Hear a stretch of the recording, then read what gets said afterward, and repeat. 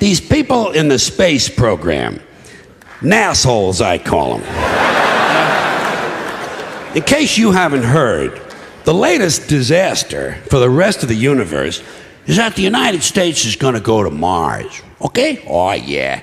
We're going to go to Mars. And then, of course, we're going to colonize deep space with our microwave hot dogs and plastic vomit, fake dog shit, and cinnamon dental floss, and lemon scented toilet paper, and sneakers with lights in the heels.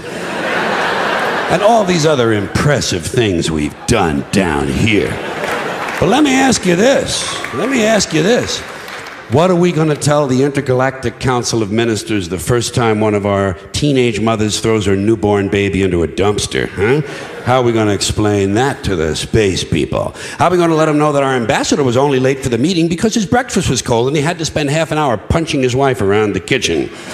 Now, what are they going to think when they find out it's just a local custom that over 80 million women in the third world have had their clitorises forcibly removed in order to reduce their sexual pleasure so they won't cheat on their husbands? Can't you just sense how eager the rest of the universe is for us to show up? Can't you see them out there?